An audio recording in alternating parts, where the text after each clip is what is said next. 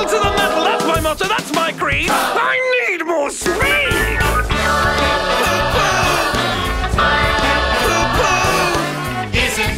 We are here at the Palladium today to tell people that in June, in this very building, we will be telling the story of Wind in the Willows eight times a week for 12 weeks. Uh, and audiences can expect a big, big new musical. Loads of sets, loads of costumes, lots of cast on stage, uh, a host of really memorable songs, um, but above all, the story that everyone remembers, uh, reimagined for the 21st century.